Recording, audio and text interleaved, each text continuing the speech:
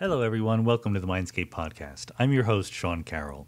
And I'm sure that you've all heard the excitement, the worries, the news overall over the last few years about gene editing, the possibility of editing human genes at a very detailed level, not to mention plant and animal genes, of course.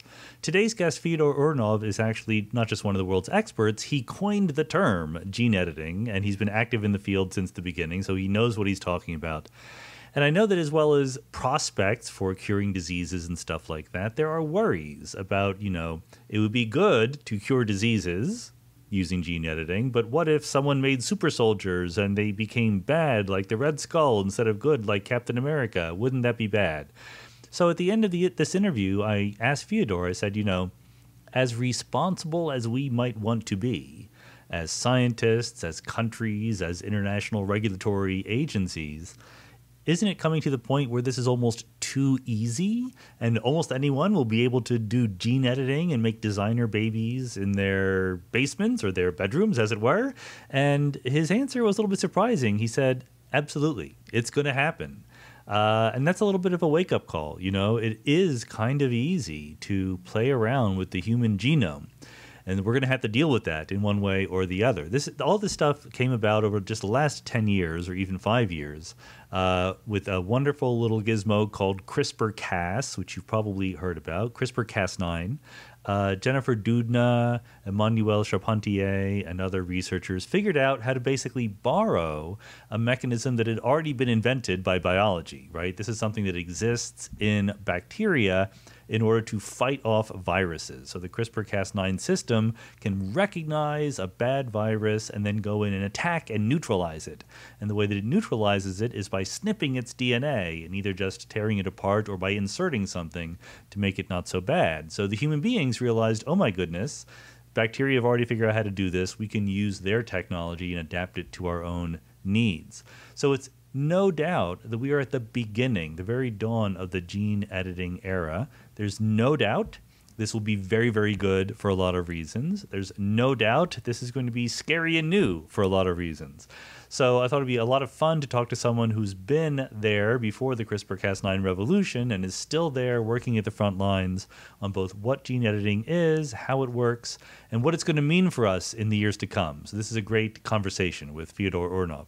Let me just quickly mention also before we start that this podcast is being released the day before the paperback release of my book, Something Deeply Hidden. So if any of you out there are, on the one hand, paperback book readers, and on the other hand, not yet enthusiastic enough to have purchased the hard copy, the hardback version rather, of uh, it's still a hard copy if you get the paperback version, the hardback version of Something Deeply Hidden, and you want to know about quantum mechanics, many worlds, and some of the interesting ideas going on in physics with emergent space-time and stuff like that, be sure to rush out to your local or virtual bookstore and pick up a copy of Something Deeply Hidden. I will appreciate it the universe will appreciate it. And with that, let's go.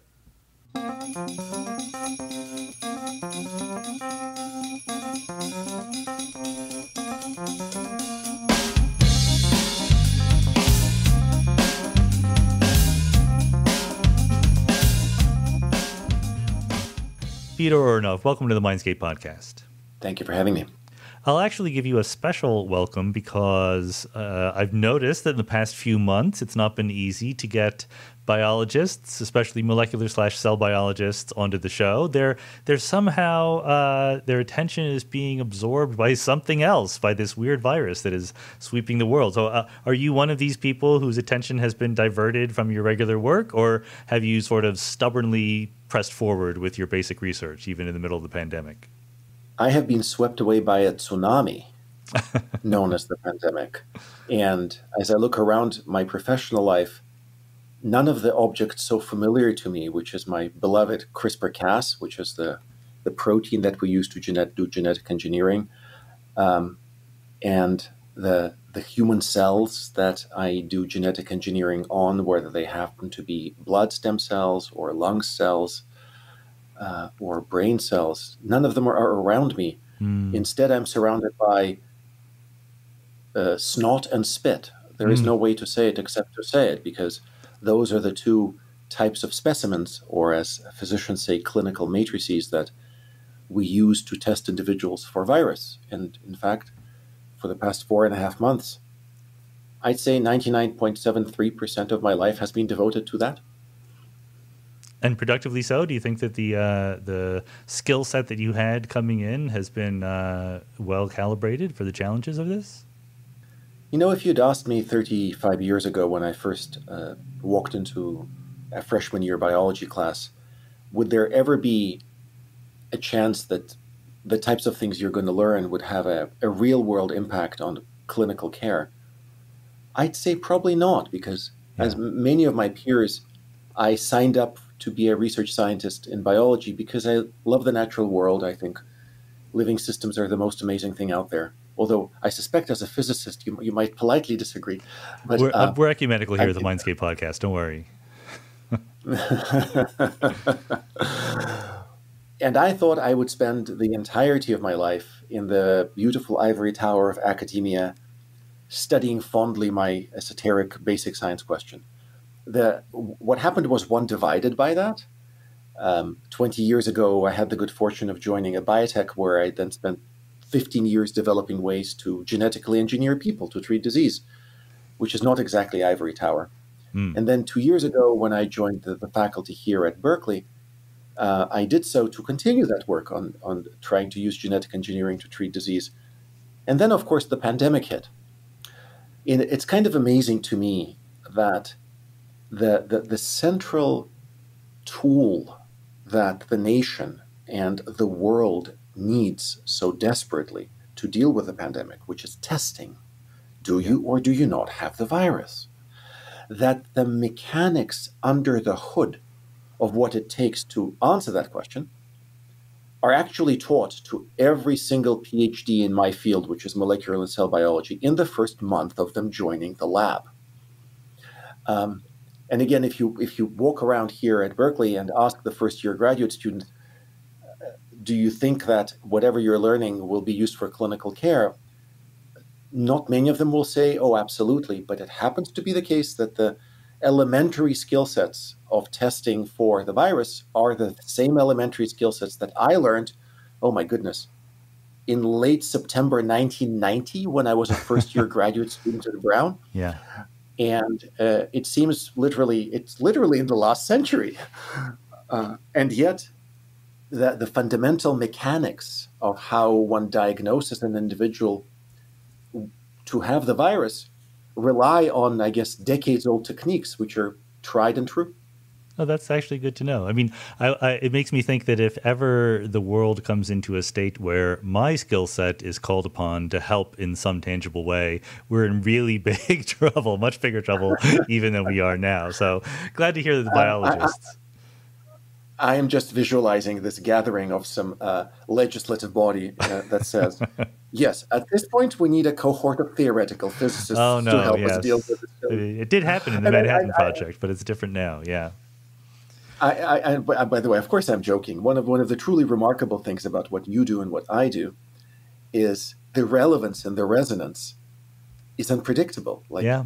I think most, most people don't know that the GPS on their phones uh, works on Einstein's uh, theory of relativity, right? Absolutely, yeah, absolutely. And just, but, but I mean, no, I, I swear you that to you that the majority of people who use that just don't don't who use GPS just don't think about that. Similarly, I think most people who get diagnosed, who get tested for the virus, they don't really think about the mechanics. Mm-hmm. And the fact that the, the mechanics of the testing have to do with really foundational tools of my field, which is molecular biology, that have been developed over the past 50 years. Right. Is just not something that's in the headlines daily. And yet here we are, basic biologists used to sitting in our with our test tubes and our cells in isolation of a laboratory, um, finding ourselves in the in the in the minds of the public. Like I, I, I say to people, oh, you know, RNA extraction, and lay people ask me, oh, do you do that qPCR thing or do you do something else? And I go, well, Uh-oh. I never thought that the word qPCR would be used, which stands for quantitative polymerase chain reaction, by the way, uh, would be ever would ever emerge in a layperson conversation. And yet here we are. Well, this is a good segue because what I what I actually want to do is get into CRISPR and gene editing, and then we can see if that circles us back to fighting viruses and so forth. So, uh, for uh, we take it that our audience knows what DNA is, that our genetic information is stored in DNA, and also probably most people out there have this feeling that there's been this revolution in the past few years uh, in terms of editing the DNA with this CRISPR-Cas stuff. So maybe you can just tell us, you're one of the world's experts, what is CRISPR? What does it go around crisping? And uh, what are we going to use it for? Oh my goodness. Uh, you can skip the what are we going to use it for. We'll get there. We'll get there later. What is it? How does it work? Let's put it that way. So, so asking me about CRISPR is a bit like asking a koala what it thinks about eucalyptus leaves. I could go on and on and on.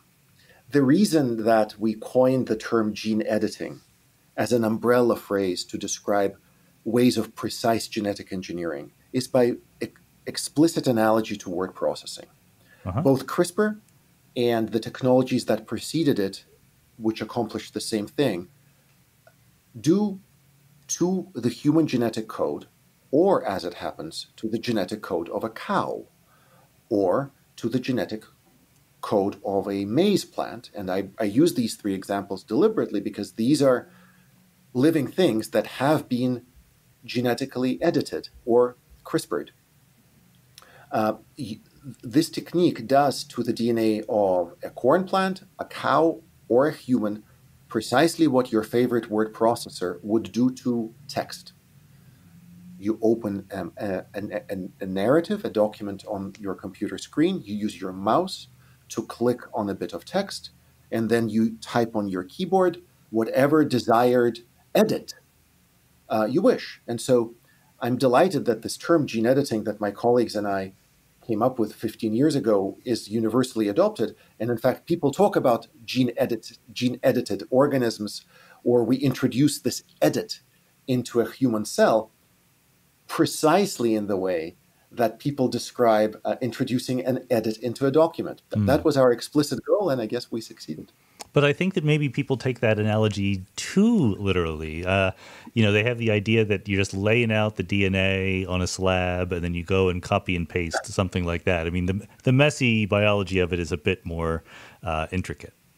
Um, that would be the understatement of the year. uh, I, I, I, think what was Einstein's favorite phrase everything should be made as simple as possible, but not necessarily simpler. Yes. So, in, in, in, in telling you how gene editing broadly and how CRISPR specifically works, I really need to carefully walk that line to not in, not in, not oversimplify. Mm-hmm. Um, I think a good place to start is by saying the following: Human DNA is very long. Uh, you know, your audience is doubtless familiar with the number 6.6 times 10 to the ninth letters of genetic code is what it takes to build a human being. Now, a, a, good way to think about how long that is is as follows. If you read the genetic code one letter at a time, A, C, T, G, one, one second at a time, mm-hmm. it'll take you a century to, to read the entire human genome. So, first, the human genome is very long. This is also true of the cow, and this is also true for corn. Second, um, with the exception of microbes, like really small things that move around and leave their little independent lives, most living systems don't like their DNA changed in any way at all. And this is because DNA is, you know, essentially the the, the storage document for who, who they are. Yeah. And Mother Nature protects the integrity of the genetic material. So, and you you can see how extraordinary this repair machinery is if you look at folks who have um, the misfortune of not having the machinery to repair damage. So, mm. for example, there are folks with rare diseases who cannot tolerate sunlight because um, they don't have the, the right machinery to fix damage to the DNA. And they need to wear, you know, sunscreen SPF 10,000. Right. And in fact, they sell, they near never venture out into the daylight. Uh, they have to basically be active at night.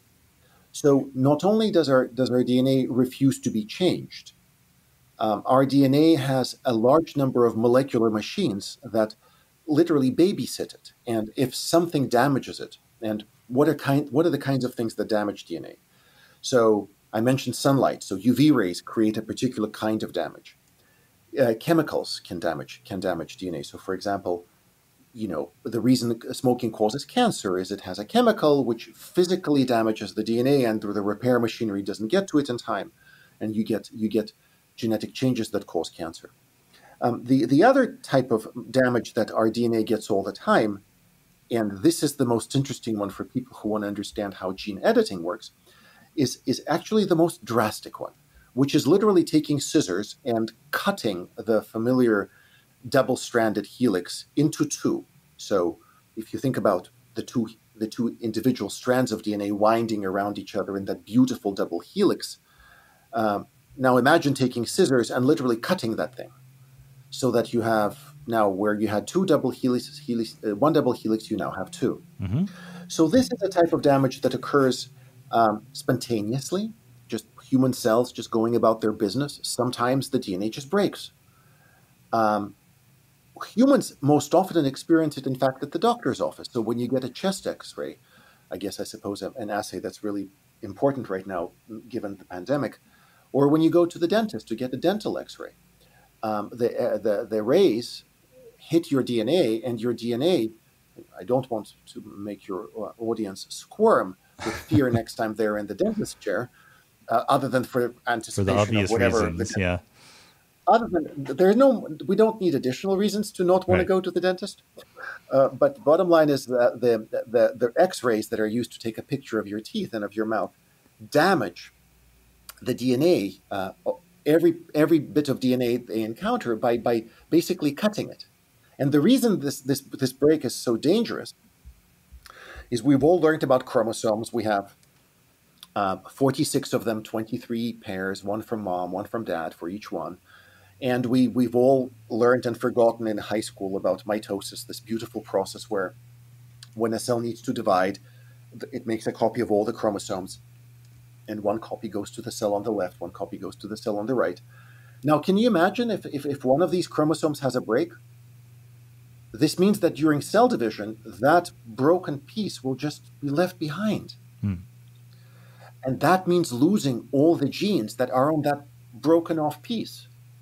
And that, the overwhelming majority of the time, is genetic is a genetic loss that human cells cannot tolerate. You can't just get rid of human genes left and right. Now, you can get rid of some, but the notion that there would be a break on one of the chromosomes such that an entire chunk of it just gets lost that's incompatible with forget human beings being alive it's incompatible with human cells being alive hmm. but people should still go to the dentist because the reason that x-rays whether of the chest or of your um, oral cavity or that your exposure to ionizing radiation from the sun when you take um, a commercial flight again not many people are flying these days but back when they used to um, the, the sun will uh, emit rays and it will hit your DNA and your DNA will be broken into pieces. So Mother Nature has evolved a machine to rapidly heal the break. And I'll speak more to this machine in a second, except I think it's really important to appreciate how ancient the machine is. You know, life on Earth is what, 4.5 billion years old? 3.5, you know, yep. whatever the number. Um, the machinery that heals the breaks is one of the oldest molecular machines we know. So to give you, to just to give you a representative example, budding yeast, the tiny yeast yeast that give us uh, bread and wine and beer, and humans, their machinery for repairing that kind of damage is so similar that biologists who study that repair machinery in human cells use the exact same nomenclature for the bits and pieces of it as the biologists who study yeast. Hmm. And one thing uh, your audience may not know about experimental biologists is they would rather use each other's toothbrushes than use each other's nomenclature.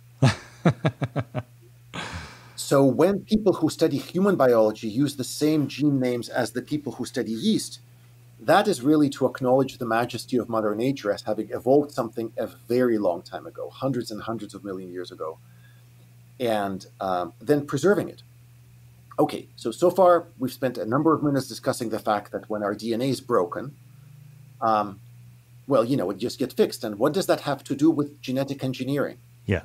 So at this point, um, and one of the themes I'd love to return to a couple of times as I share with you and your audience, um, the marvelous thing that's gene editing, is how often in the, let's think about this, 25 year old scientific history of gene editing, and because that's when gene editing really began. It began in 1994, 1995, in the laboratory of a scientist at Memorial Sloan Kettering in New York named Maria Jasin. And she's actually still there and leads the field, and she's absolutely wonderful.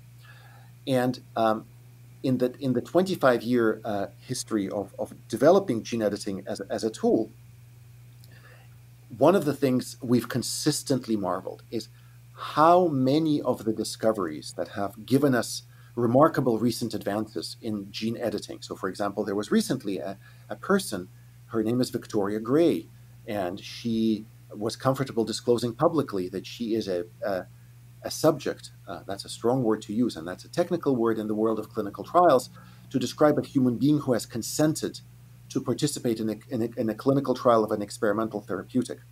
And so she's the subject on the clinical trial to do gene editing for sickle cell disease, which she has.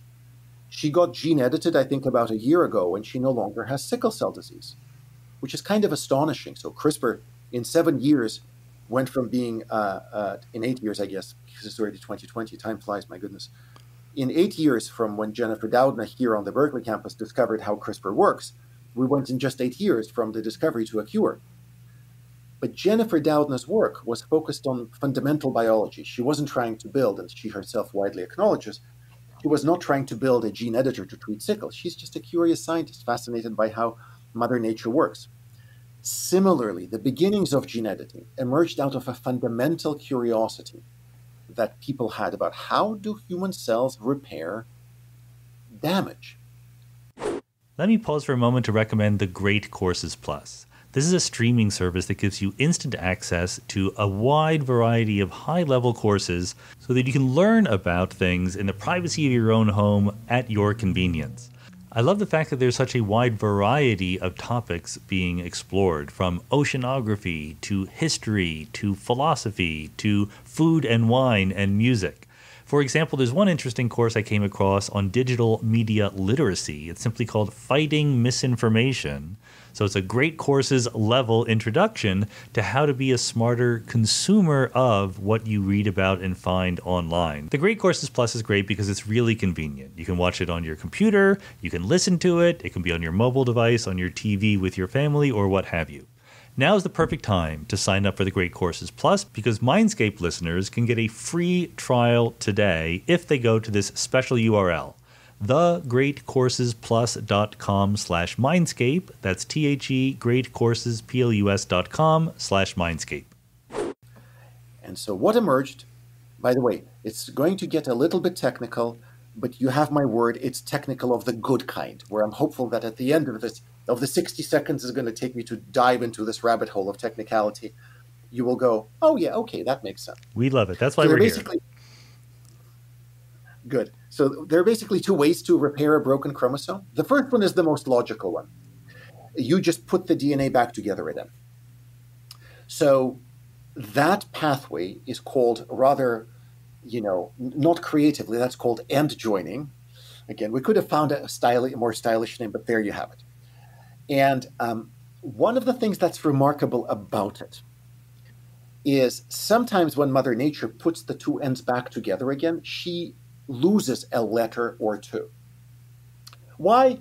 Well, you know, Mother Nature has reasoned that, quote unquote, only 5% of human DNA is actually coding for genes. Hmm. And that means that only 5% of the breaks will happen um, in areas of sort of in areas of the genome that make proteins that make you and I. And thus, you know what? One in 20 is okay. Furthermore, it's not that every time a break happens, Mother Nature makes a mistake.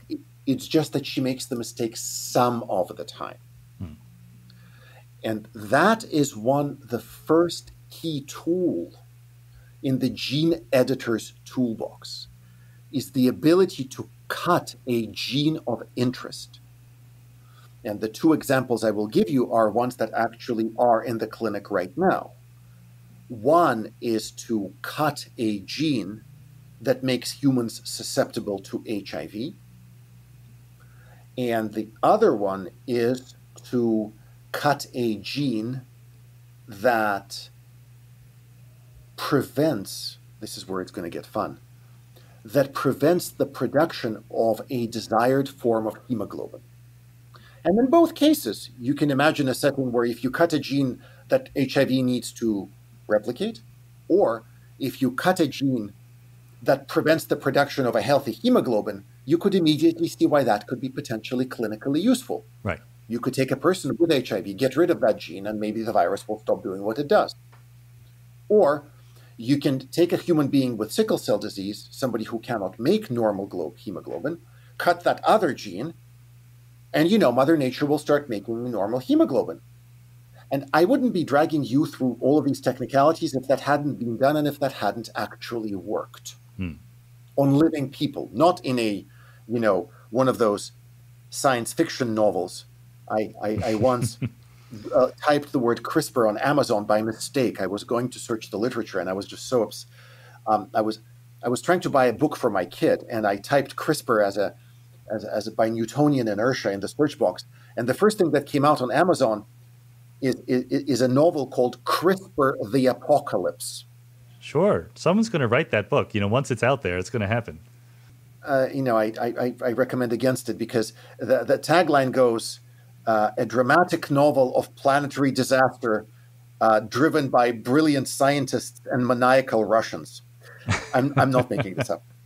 And so Jennifer Doudna, I told Jennifer Doudna when I saw this that, you know, it goes brilliant scientists as maniacal Russians. I said that between her and I, we have the two positions covered. There you go.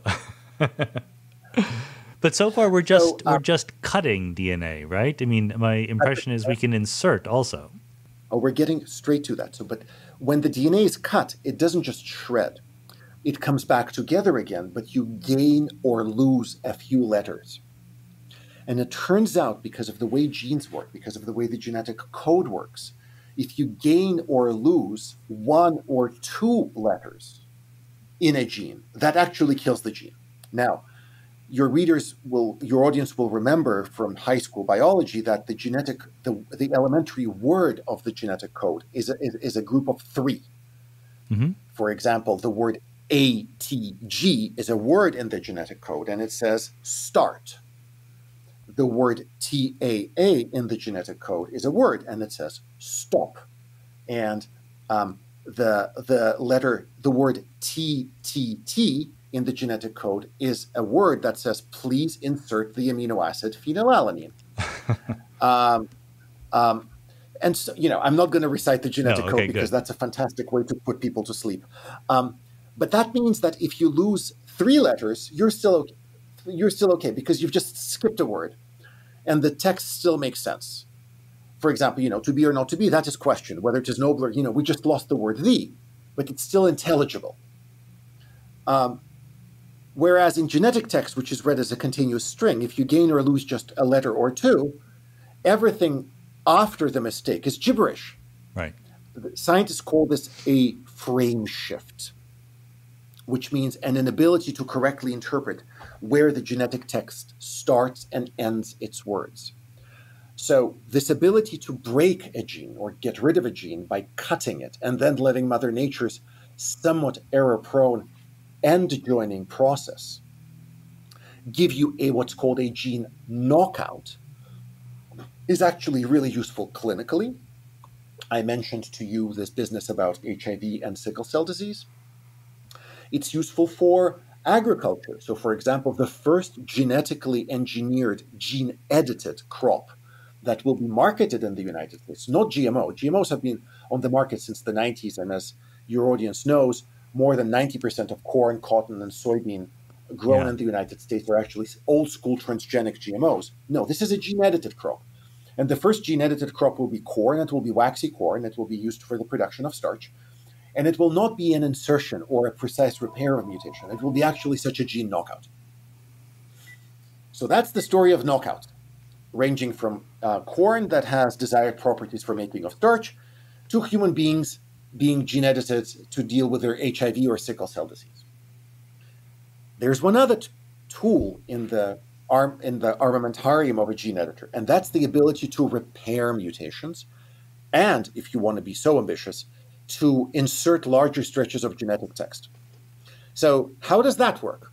Well, I, am going to have to ask you and, and the audience to step back yet again to the fundamental biology of how Mother Nature deals with these rather dangerous breaks.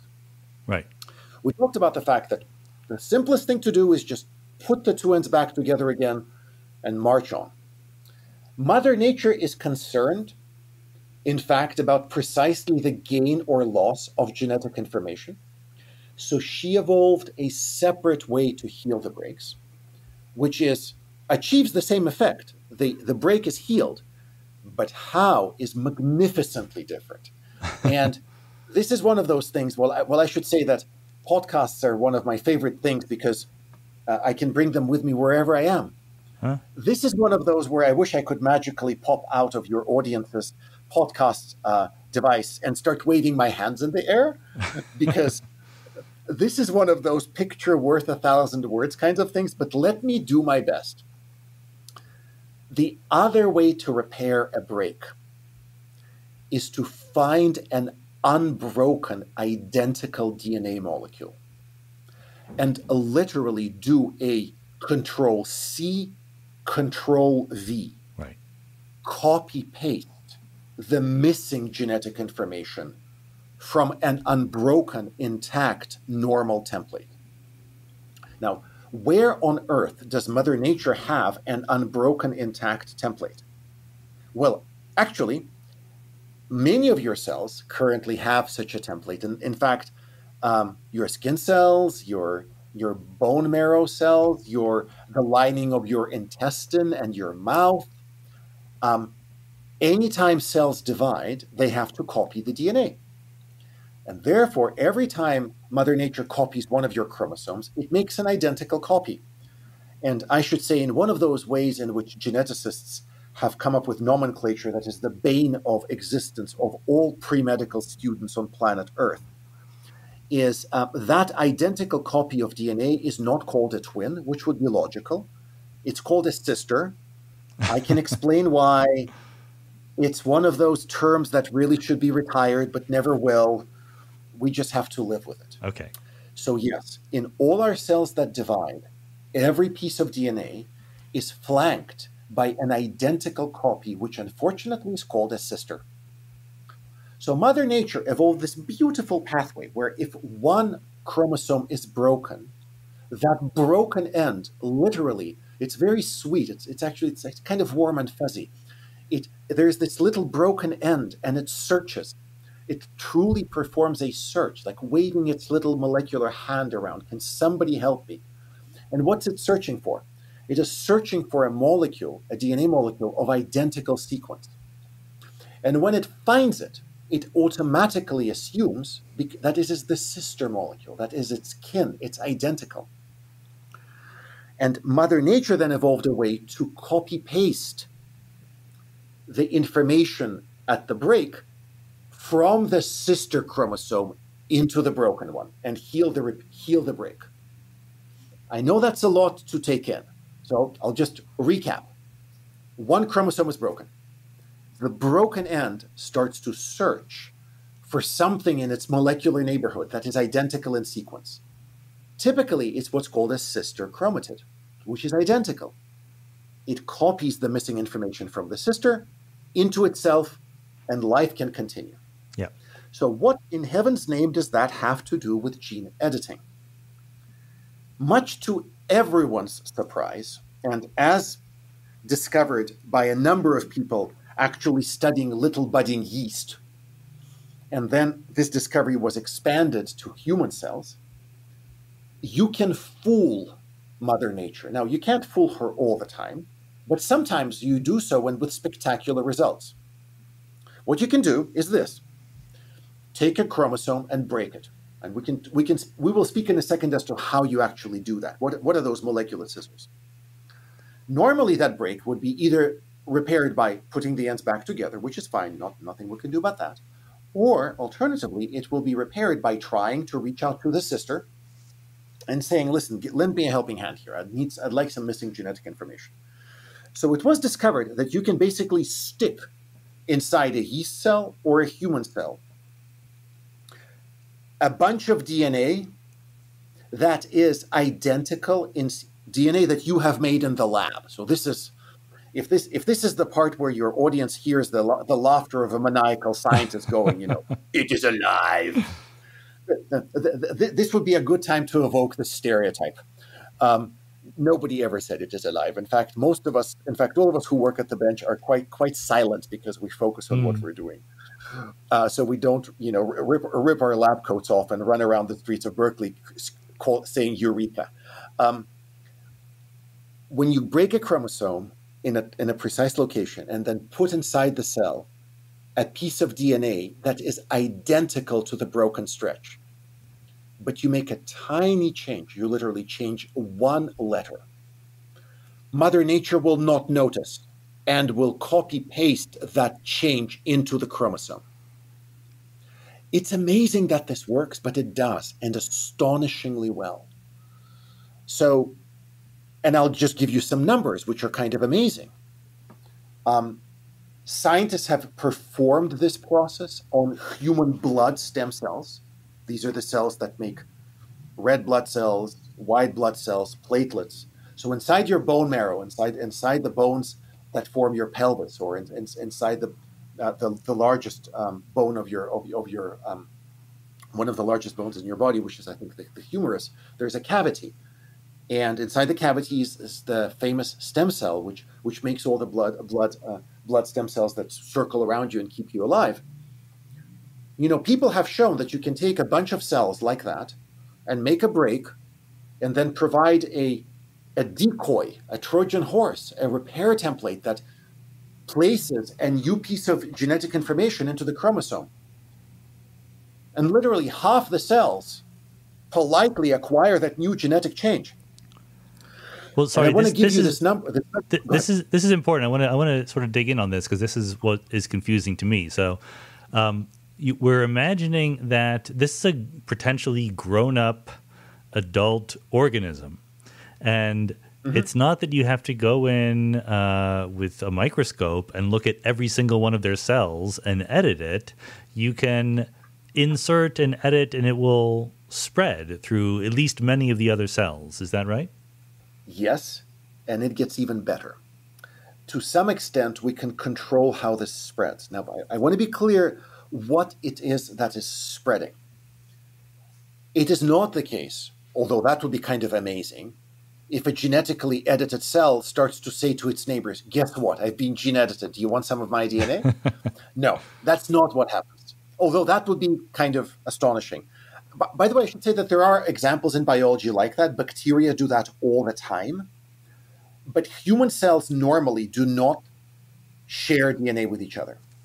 Instead, what spreads is the gene editor itself, mm. which, as I'm about to explain, is this tiny molecular machine that we engineer in the lab and then we stick it inside the cells. And we, can, we have two ways of doing that. If you want to gene edit an organ, such as the eye or the liver, you actually have to inject the gene editor into the body.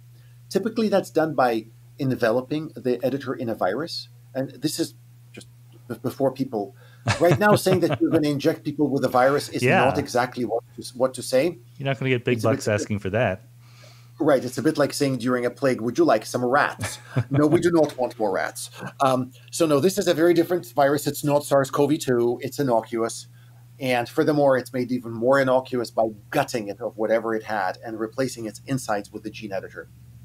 So, what you basically do for the eye is you inject the virus into the eye, and it goes and enters the cells. Or for the liver, you inject the virus directly into the bloodstream and the virus homes to the liver and infects the liver cells and delivers the gene editor. And both of these things are being done clinically right now for congenital blindness and for hemophilia, respectively. So I'm deliberately not using hypothetical examples. There are gene edited people on the planet who have been treated using this approach. And is the stuff that you're editing into the genes um, stuff that you get from a healthy cell, or are there gene programmers uh, actually writing the GCTAs in the correct order to get something new? Uh, the sky is the limit. I can tell you what's happening now and what we'd like to do. So for now, um, the genetic engineering of um, cells, um, organs in, in living humans, so whether you engineer the eye or the liver, and just to give you a sense of what's on the horizon, I think the next uh, genetic engineering will be for muscular dystrophy, so it will be the muscle. Mm-hmm. And then people are very excited about applying gene editing to the lung. In all those cases, what's being done is either repair of a mutation that causes disease or the addition of a normal, healthy human gene that corrects the defect in a natural gene. So there is no quote unquote genetic augmentation or genetic embellishment. Right. Having said that, and here's, you know, this is where it gets fun. In fact, one of the earliest and biggest success stories, not in gene editing, but in the bigger field of human genetic engineering, was in fact precisely in such genetic augmentation. Now, genetic engineering of people started in 1989, so started at pretty, pretty, it's pretty remarkable. It's 30 years old. And it started not by precise editing, you know, here's a gene here, let's fix letter number four. It started by just inserting genes using viruses.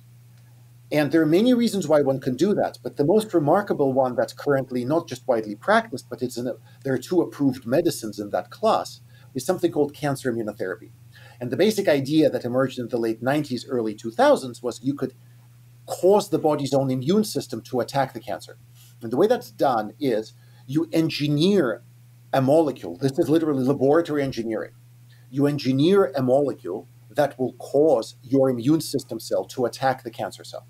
Then you take the immune system cells out, you stick a gene that encodes or specifies the production of, of that new molecule, you put the cells back in, and lo and behold, the cells now rerouted or reprogrammed. I know those are big words. reprogrammed. Well, I mean, there's a lot of imagery associated with sure. People yeah. think people think Gattaca, people think whatever they saw on Instagram, and you know, one has to be careful with language because you know words have meaning. So I, I I'm always very mindful to not say things like you know, this is why I think partly why we invented the word gene editing because we wanted to con- contrast it with you know good old GMOs because the, I don't think right. I, I think the damage that has been done by the publicity around uh, GMOs I, I think is never going to be repaired. I think we're just stuck with that. Um, they're they're they're actually safe, but the public will never accept that fact. So you know, we just have to move on. But the big so, point um, that you seem to be making about the use of gene editing for fighting diseases is, in some way, you're giving the body the resources that it needs to fight it in a very natural biological way. Correct. So, for example, our our ability to fight HIV by getting rid of that CCR5 gene, that's the name of the gene, is based on a discovery made here in the San Francisco Bay Area during the, the tragedy of the uh, of the AIDS pandemic when uh, physicians discovered here um, in San Francisco, actually, that there are folks whose partners had succumbed to AIDS, and these folks reported having unprotected sex with them, and yet were virus free. And when their DNA was studied, they turned out to be naturally lacking that gene. And that told physicians, first of all, that you can lose that gene without any overt symptoms. And second, that if you get rid of that gene, you could potentially protect a person from HIV. So, natural genetic variation or transferring genetic variation naturally from one person to another became a therapeutic modality. Similarly, for the sickle cell disease treatment strategy that was used to uh, treat and, uh, as best as we can tell, cure Victoria Gray, there are people who have this natural variant of this gene. It's basically a reduced form, a reduced function of that gene that really make normal globin. And it was the transfer of that natural variation from those people to people with the disease that is currently being practiced. So yes, you're exactly right. This is moving natural variants from one person to another. And is this? I mean, how optimistic can we let ourselves be about you know the fight against cancer and the dramatic side, or even just like allergies, hay fever on the less dramatic side? Are are we going to be able to wipe these out someday? I know that predicting timescales is always hard, but is that a realistic target? So I can tell you what's going to happen in the next five to ten years. Okay. And at that point, we we completely fall off the cliff of Yogi Berra. You know, it's it's hard to make prediction, predictions, especially about the future. Yeah. And the reason I say this is, if you know, if the if the if the history of science and biology, my field, over the past three decades teaches us anything, is never underestimate the remarkable things that scientists can discover that Mother Nature gives us. You know, if you if you had told me ten years ago, when we were doing gene editing with first generation tools, that there is a scientist at Berkeley who will discover a molecular machine that will comes from bacteria that will use RNA to find a, its way to human genes and will cure sickle cell disease. I would I would um, uh, probably ask ask for you to get some help with your, help with your mental health. Right. Um, and I would be egregiously wrong because that's exactly what happened. So super hard to extrapolate beyond 10 years because we don't know what technologies will, will, will show up. But here's what's going to happen in the next five to 10. There absolutely will be dramatic advances in the treatment of certain forms of cancer using this approach. So certain previously incurable cancers are now curable. Um, a lot of people are working on the application of gene editing of the human immune system to eradicate more challenging cancers. There's early stage progress. A lot of work remains, but I am completely convinced that the next five to 10 years, we'll see more cures. And I know cure is a big word. Um, the other one is certain forms of genetic disease. So the particular ones that I'm thinking about are sickle cell disease, which is remarkable. There is 100,000 Americans suffering from it. It's a terrible disease. Mm. Hemophilia, uh, you know, one in one in five to 10,000 uh, boys born uh, in, in, in the United States, for example, have hemophilia disorder and blood clotting. I think those two we can we can realistically expect for the public health burden of those diseases uh, and on the folks who have the disease will be dramatically reduced. I think my other biggest uh, area of excitement for this technology is actually in the treatment of pain. Oh, um, oh, okay. So there are there, there, are forms of you know as the, the, tragedy of the fact that tens and tens of thousands of our fellow Americans have died um, due to overdoses from um, uh, synthetic painkillers is these things are addictive. They're very powerful, but they're very addictive. So you so you get prescribed something um, um, for pain, and you know you get addicted to it, and you die of that, which is like such a tragedy. So um, the, the, the worst offender is this thing called fentanyl, uh-huh. which really really kills. Why does fentanyl exist? Well, fentanyl exists because there are certain forms of pain that don't respond to morphine, like cancer pain. If you have cancer and if you have metastasis, um, I'm not a physician, but I've, I've worked with physicians for 25 years, so I, I, I, I try to carefully reproduce what I learned from them. there are certain forms of cancer pain. They're called breakthrough cancer pain, for which there's no, no conventional um, um, opiate would help. And so there are synthetics, such as fentanyl, which you give to, uh, to folks with terminal cancer so that at least they can die in dignity rather than succumb to horrific pain. So we don't need that thing to exist we now know, uh, thanks to some remarkable discoveries by geneticists, that there is a gene. It's kind of astonishing. There is now we know two genes, and if you get rid of it, people feel no pain. Now that's a bad thing, right? We, you need to feel pain. Um, some pain, yeah. yeah, yeah. You know, when you've cut yourself, you're in danger, or you know, there are many reasons why pain sensation is good. But when you're when you have terminal cancer and you have horrific pain, you don't need pain, and so it turns out that there are people who don't have that gene. They don't feel pain. And then there's a, a different group of people. They're more rare. Um, they are they don't just feel pain. They're naturally high, so they're they're constantly in a good mood. And so, one of the one of these genetic changes is in a system that transmits pain from your fingertip, for example, or your toe you stubbed through the spine to the brain. And the other uh, genetic system is uh, the so-called endocannabinoid system, it's a, um, it's Mother Nature's natural painkillers uh, that we uh, Mother Nature uses to get ourselves high in, in just the right way. And so it turns out that we can use gene editing to get rid of either one of the systems or the other. And there are, in fact, early stage efforts to try to make that into a therapeutic. And so, in just very realistic terms, do I see this entering the clinic in the next three to five years? Absolutely. Do I see this having as having a strong potential for becoming a non opioid, non addictive way to treat certain forms of chronic pain? I absolutely do. Hmm.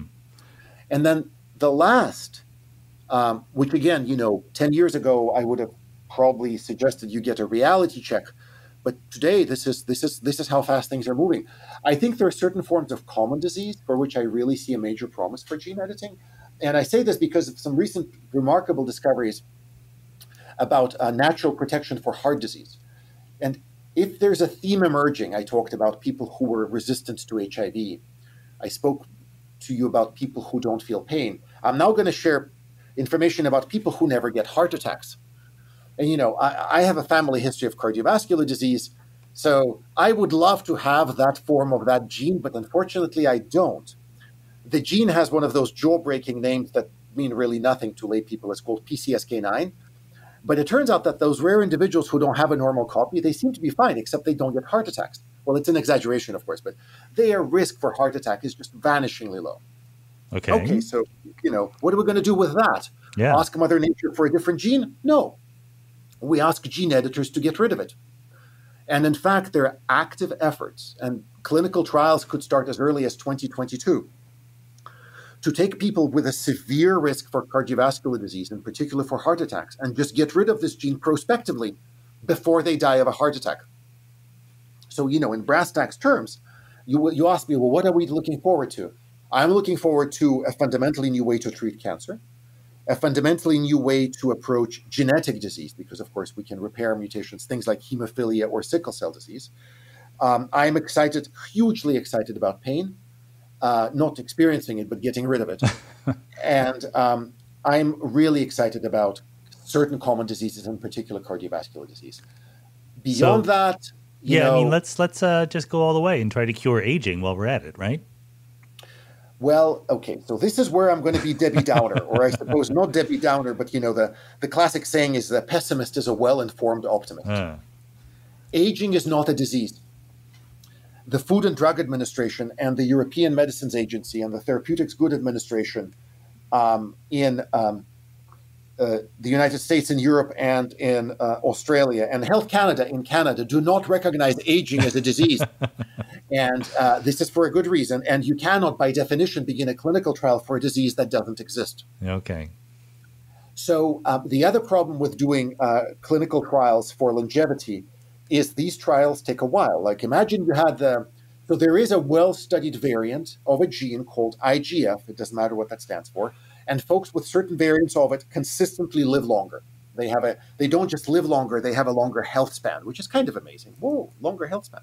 So now imagine a gene editing trial where you know uh, the scientists at the Innovative Genomics Institute at the University of California, Berkeley, have found a way to crank up the longevity gene, and there we are with our with our frantic look in our eyes in our lab coats uh, about to inject somebody with longevity juice. And then, of course, we wait 45 years to see if they live longer. You realize I'm being deliberately sarcastic because it's actually super hard. Yeah. yeah this is super hard to do. So, well, but, in practical but, terms, what I go ahead, please.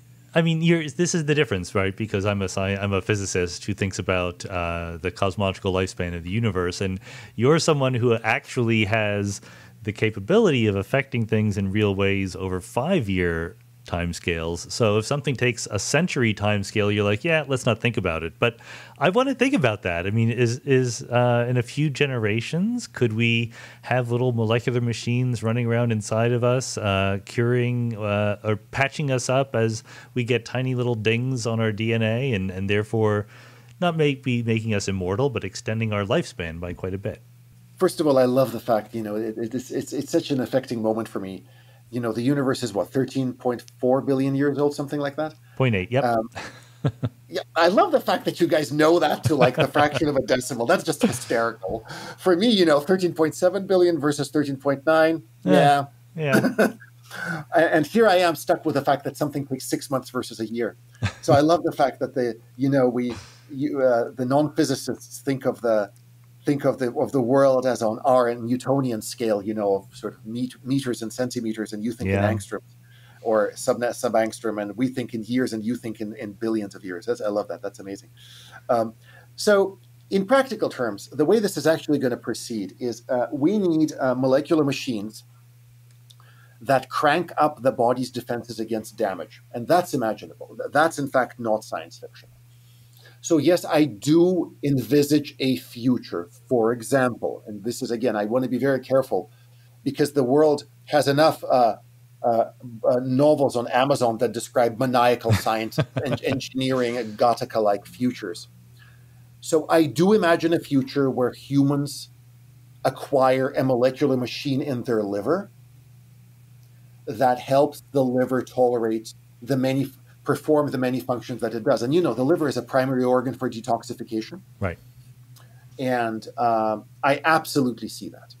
The other, um, the the other organ that I think is of huge, huge interest, and you will say the brain. No, in fact, it's not the brain; it's the kidney. So chronic kidney disease. You know, thirty plus million Americans have it. you know, the Medicare spends more money on uh, dialysis for that condition than mm. the National Institute of Health spends a year on its research budget. So it's a huge public health burden, and it's a tragedy for folks who have it. Do I see a future where we engineer ways to make human kidneys carry some form of a machine that protects it against chronic kidney disease? Yes, I do. So um, I think the same could be true for the heart. Do I see a future where we either genetic, where we sort of we place inside the human heart a molecular entity that uh, is wired? I don't want to say, like I I don't see a future where we have a myocardial infarction and the, the infarct is repaired immediately, but I absolutely see a future where the heart carries now a molecular machine where when there is a heart attack, if the person who had it survives it, that um, uh, the, the heart heals faster. I absolutely that that hmm. is not. In in other words, all the bits and pieces exist. You know, it's a little bit like living on Mars, right? I mean, can we live on Mars? I mean, yeah, we have to first of all get there safely. Then we have to build a habitat, and then we have to find people who actually want to do this. But like, kind of all the bits and pieces are in principle there. You just have to put them together. So when I'm describing all of these things, it's a little bit like you know the concept of creating a habitat on Mars. All the pieces are there. It's just right. going to take us time to get there.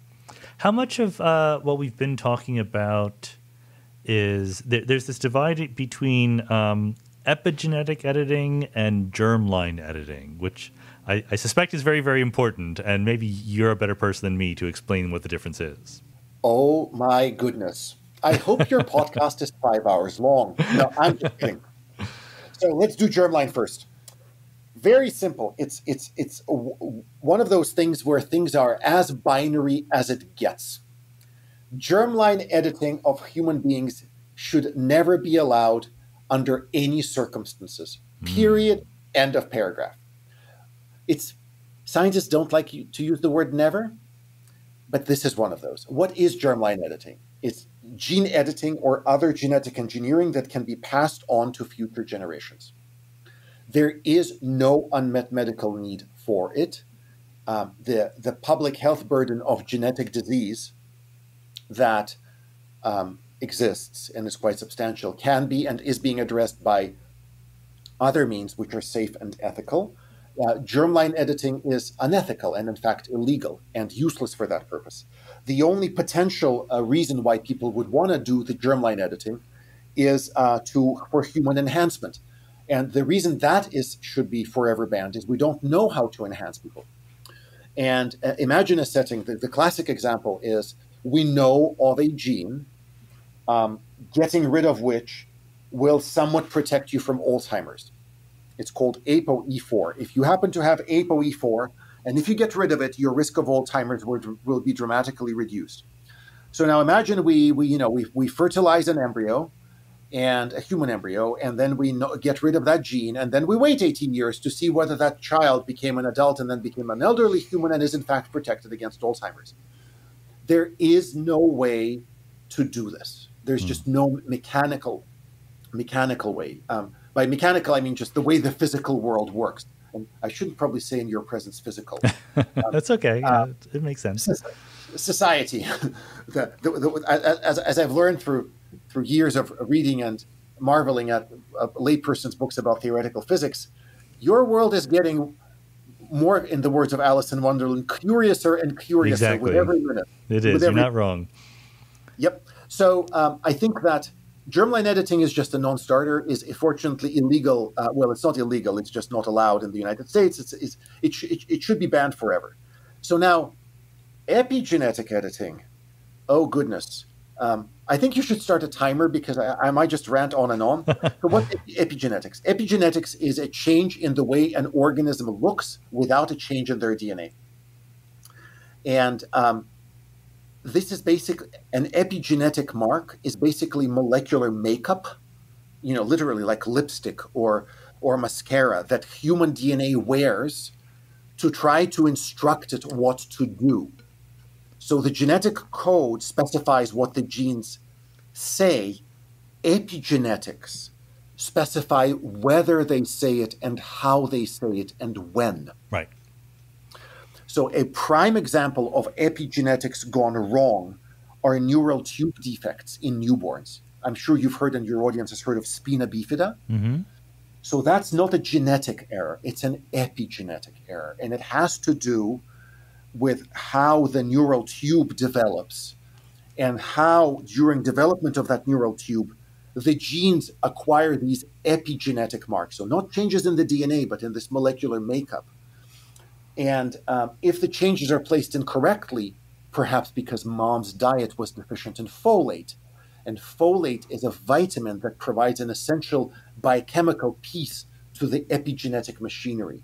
So if mom doesn't get enough folate in her diet, then the epigenome, here's a pretty word, not genome, the epigenome, which is the collection of epigenetic marks that her baby's DNA is acquiring, that her baby's epigenome will be wrong, and that baby's at risk for getting spina bifida which is why folate supplementation is a major success of public health for prevention of neural tube defects. So, scientists and physicians have learned that if you supplement the diet of a woman who would like to become pregnant and uh, of a woman who is pregnant, then she can choose to supplement her diet with folate both before becoming pregnant and while carrying the baby. And that will substantially reduce, although not completely eliminate, unfortunately, the risk of her um, becoming uh, delivering a child with spina bifida. Although full disclosure, I I want to be very, very um, what's the word I'm looking for? I want to be very respectful, uh, as all people in my field, of the fact that there, ultimately what we do is about folks with the conditions, with the disability, and their rights, their interests, their feelings uh, are. I don't want to. Sacred is a very strong word, but they kind of are. Yeah, and put so them I, first, I, primary. right, and so I, w- I want to be very careful here. I, you know, um, I'm sure uh, there there. We are trying to reduce the prevalence of of, of this um, medical sim, um, uh, condition while being enormously uh, respectful and supportive and caring for the folks who have these conditions. Right. I mean, right. You know, so there's that. That is what drives all, all that we do. Having said that, folate supplementation, if a woman chooses to take it, will reduce the risk of that woman having a child with a neural tube defect. Why? Because of an epigenetic effect. So, believe it or not, re- recent developments have created not just gene editing, which is, you know, you change the sequence of DNA by either repairing a mutation or getting rid of a gene or adding a gene. You can also do epigenome editing. What does that mean? You don't change the genes, you just change what the genes do.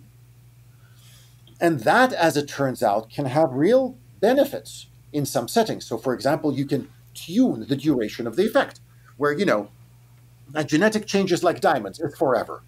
An epigenetic change does not have to be forever. You can dial it in to last for a couple of months for some reason. Hmm. And if not, it goes away. And I wouldn't be saying this to you if your humble servant, together with some colleagues at the University of California, San Francisco, Carnegie Mellon, and the Whitehead, wasn't working on a project funded by DARPA to create such an epigenetic change using CRISPR uh, in America's warfighters to protect them from radiation damage in the theater of war, in America's first responders to protect them uh, for when they have to rush to the scene of either uh, potentially a nuclear accident or a dirty bomb scenario, and also to protect um, folks in the United States who are about to undergo um, radiation treatment for their abdominal or pelvic cancers. In all these cases, we are engineering a CRISPR, which we hope will create for a few weeks an epigenetic edit to protect the bone marrow and the gut of these individuals, whether the warfighter, the first responder, or the patient in a radiation oncology ward for just a month or so from the da- danger of radiation poisoning. So, this is a scenario where an epigenetic edit is preferable to a genetic one. Well, I want to dig into why it's preferable. I mean, if you could uh, do the same thing but make these soldiers stronger and more resistant to bullets as well as radiation? Uh, and why not make it last a long time? I mean, I'm, I'm, asking leading questions because I think these are good issues and we shouldn't just uh, zoom over them. We should sort of sit down and think about what the issues are. So this is something that I myself and all our colleagues and the Department of Defense has thought hard about. Um, Amer- you know, America's warfighters will stand up and defend her, whatever, whatever the, whatever the need. And Right. so, but we have to be respectful of the fact that these women and men have committed their lives to that, and we have to be respectful of that, right? We we, can, we cannot be, and I'm not suggesting you're saying that. I'm just saying we have to be respectful of their commitment to our country. hmm And here, I think the Department of Defense wisely, and I concur with their judgment, has argued against making a permanent change. Because you know what? Um, that system for protecting us against damage has its benefits. You know, if a cell is too damaged, then, you know, it might die a normal death rather than survive and potentially acquire a cancerous change Yeah. in an extreme setting where a, a, a war fighter who is in the special forces, the tip of the of the spear, as as the Department of Defense describes them, um, are you know are are have to be dropped from a helicopter into a regime change scenario where there is a nuclear fuel, and this is a realistic thing to contemplate, where that fuel can fall into the wrong hands. I mean, they're putting their lives on the line to to save the world from disaster. That's one scenario when we protect them for a, for a month against a harm that they can come in, in contact with. But when they go when they when they're honorably discharged or choose to leave the military, whatever, we want them to go back to lives pre-military. So I would be I, I tell you, I would be I would not agree right now to work on a gene edit program for um, enhancing uh, uh, en- enhancements of that type. I, I Right. just wouldn't. Um, I epi edits, sure, but the idea that I would permanently genetically engineer a human being and thus commit them to having that DNA for the rest of their lives, and this was an enhancement type edit, I don't know, man. It's a it, it's it, that would be a hard pill for me to swallow. Well, I'm very sympathetic to this idea that it's incredibly difficult to know what all the possible ramifications are were you to go down that road, right? Like even with the best of intentions, if you tried to make people, uh, you know, healthier or had better eyesight or whatever, or taller or bigger IQs, it could ruin other things that we have a difficult time uh, anticipating. But I guess what I'm what I'm thinking of, I'm, what I'm not doing is advocating it, but I'm what I'm doing is guessing that someone's not going to feel that way. Someone's just going to do it, right? It's going to be done somewhere in the world. It, this technology is becoming easier and easier to use, right? Like, are there going to be people in their garages uh, 3D printing CRISPR programs to make different babies? Absolutely, and that's in fact already happening. Yeah. Uh, I think that the tragedy of Jen He's alleged crime is that I don't want to swear on air, but like I'm, you can imagine I'm inserting words here which are work, you know, la- la- language that I learned to use when I was drafted at the age of 18 when I was drafted into the Soviet military. That I would have to flag on YouTube. I understand. yeah, no, let's, but Jen He is a criminal. This is the Chinese scientist who um, who actually did this to human babies, right? For to, to prevent al- alleged, allegedly, allegedly, yeah. Okay. So he performed two crimes. The first crime is he irreversibly stained my field Hmm. of genetic engineering to treat disease with a with a with a imprint of designer baby. Yeah. You know, you tell people I do CRISPR, people say, "Oh, do you make babies? Do you make smarter babies?" Yeah. No, we don't. We try to cure cancer and sickle cell disease, but Yeah. but the other thing that's even a deeper crime is he showed to the rogues of the world that this can be done. I am absolutely convinced that there are laboratories right now, they're underground. I mean, I don't mean physically, I mean metaphorically, Yeah. who are, who are enhancing, quote unquote, embryos for people with too much money, too much money and not enough understanding of the science and not enough ethics. Um, that's happening. And I think that I don't think there's any way to prevent that from happening because, um, again, this is why Jennifer Doudna's discovery of how CRISPR works is, I mean, revolution is not is not enough of a word. It, it puts it put us in a different world. Right. You know, um, I'm, I, you know, as a scientist, I would say phase transition, but that's that's a good way to p- put people to sleep. I mean, I, I- I Believe me, I know. well, may- may- maybe you know, imagine metamorphosis where you have a crawling caterpillar and suddenly you, you have a flying butterfly. So Jennifer's discovery converted my world from a crawling uh, crawling caterpillar to a flying butterfly. It's just like we, yeah. we're moving in a fundamentally different way. We have flight. Thank you very much. Um, so um, it's it's it's actually high school biology easy. So are will there be and are there uh, people who don't understand the literature and who are delusional doing that right now to themselves and potentially human embryos? There are. Here's what to do about this. First, embryo and baby editing has to be a crime everywhere to ensure that 100% of the time that somebody is outed, somebody running, you know, 1 800 design your baby's genes dot yeah. call. Every time these people are outed, they go to jail. Period. End of paragraph. Separately, and that cannot eradicate that because CRISPR is too technologically straightforward. Like you know, I don't know anything about nuclear reactors, but I suspect that building one requires a certain amount of know-how. Yes. And you have to have the infrastructure and you have to buy the stuff. So that's not true for CRISPR. The know-how is relatively modest and you can buy the stuff. And you can buy the stuff sort of sotto voce. You don't have to tell the world, oh my God, I'm doing CRISPR in my baby. So that has to be driven into as low a prevalence as possible by making it completely illegal. Human somatic enhancement of consenting adults well, let me give you an example. Botox is legal for wrinkles. Mm-hmm. Botox is botulinum toxin, is one of the most dangerous substances on earth by weight. The Food and Drug Administration has approved a situation where people who don't like wrinkles inject themselves with Botox. So, do I see a future where there's CRISPR-Ox? I hope it's not called that. that people inject into themselves to get rid of wrinkles or whatever, change their eye color. I don't care. As long as consenting adults apply to themselves things that have passed regulatory review by the FDA, by Health Canada, by the EMA, I'm totally fine. But the key issue here is consent. Right. As long as a human being with eyes open agrees, then I see no reason difference. Frankly, you know, people get tattoos all the time, and then getting rid of them is a lot harder. Um, people need to understand that a gene edit cannot be eliminated, and that they will live with the consequences of that for the rest of their lives. But at the end of the day, it will come down to free will.